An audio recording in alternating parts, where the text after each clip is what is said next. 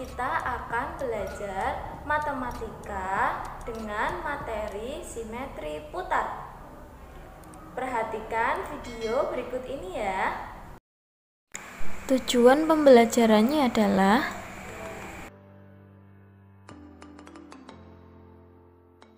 Anak-anak, kita akan belajar mengenai simetri putar pada bangun datar. Apa syaratnya? Yaitu yang pertama memiliki sebuah titik pusat. Lalu disebut memiliki simetri putar jika saat diputar akan membentuk pola yang sama minimal dua kali.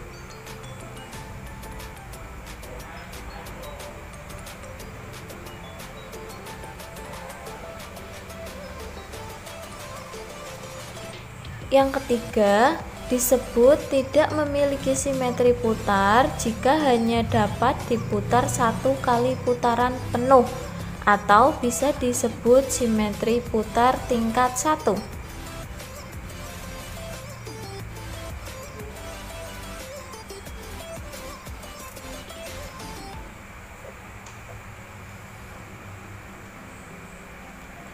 Nah, anak-anak, Mari perhatikan contoh berikut ini.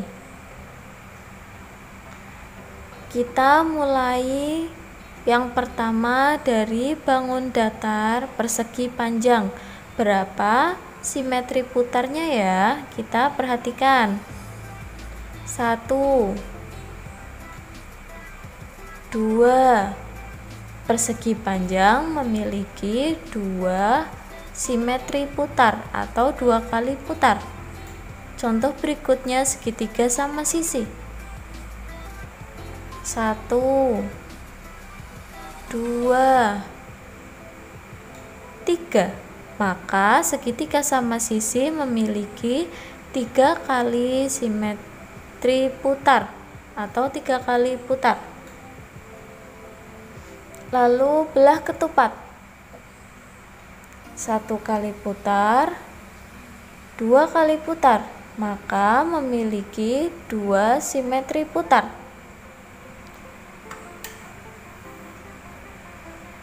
Lalu lingkaran.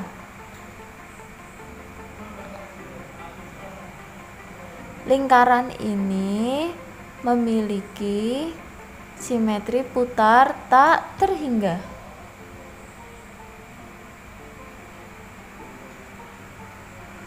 Contoh berikutnya segitiga sama kaki. Berapa kira-kira simetri putarnya? Perhatikan. Iya.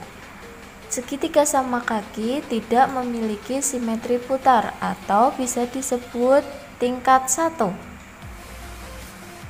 Jajar genjang. Jajar genjang memiliki dua simetri putar.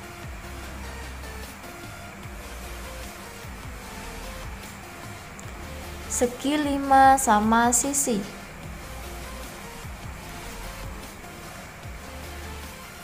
Segi 5 sama sisi memiliki 5 simetri putar. Contoh selanjutnya segi 6 sama sisi. Segi 6 sama sisi memiliki berapa? Ayo perhatikan gambarnya. Iya, memiliki 6 simetri putar.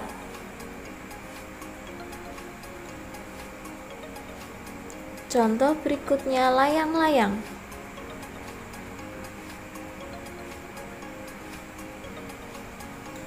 Layang-layang tidak memiliki simetri putar atau bisa disebut simetri putar tingkat 1. Contoh berikutnya trapesium sama kaki. Trapesium sama kaki juga tidak memiliki simetri putar atau bisa disebut simetri putar tingkat 1. Lalu persegi. Persegi memiliki empat simetri putar Nah, anak-anak, sekian penjelasan dari Bu Guru. Semoga kalian paham ya. Terima kasih. Wassalamualaikum warahmatullahi wabarakatuh.